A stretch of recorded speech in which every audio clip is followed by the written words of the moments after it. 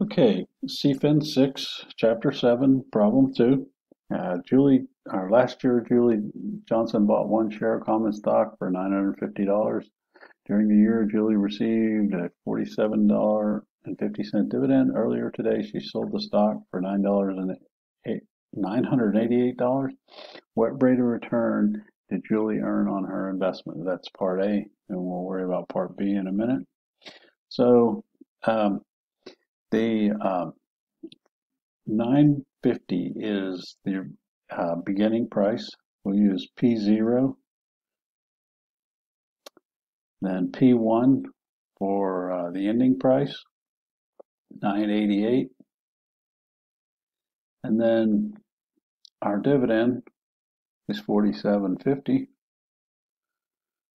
So our um, formula for um, whatever you want to call it, holding period yield, yield, uh, ROR uh, uh, is uh, simply use ROR is P1 minus P0 plus D divided by P0. So the ending price minus the beginning price, and that's a D uh, for dividend. Uh, so add the dividend. So add, um, this is uh, just this, exactly the same as what we did uh, in chapter uh, six for bonds and uh, previously. So in this uh, in that case, we'd have um, the the ending minus beginning. Then we'd add the coupon or interest payments and divide those by the beginning price. So what does that look like?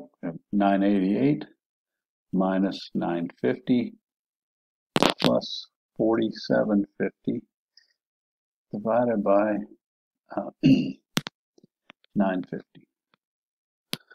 So should get 0.09 or 9%.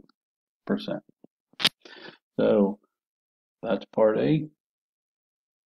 Part B asked you for the capital gains yield so and the dividend yield.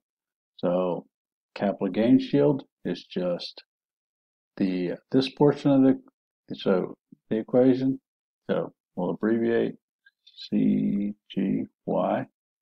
So that's going to be P1 minus P0 divided by P0.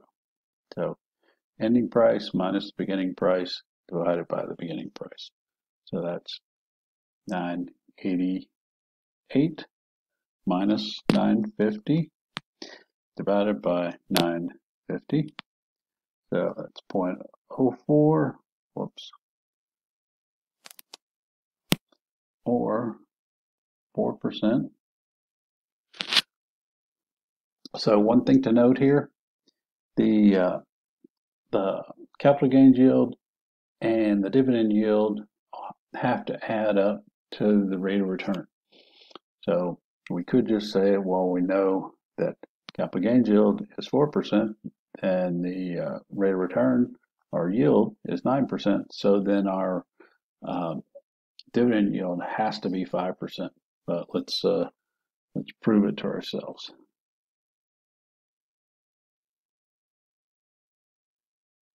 Dividend yield is simply dividend divided by the beginning price. So that's our 4750 divided by 950. So, um, so that's 0.05 or 5%.